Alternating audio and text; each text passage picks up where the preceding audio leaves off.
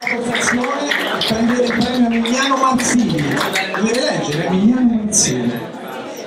Che onore premiare un grande campione imbattibile E e campione di umanità soprattutto, eh? quindi è pensato Ecco, messaggio bello per i giovani. Bravo.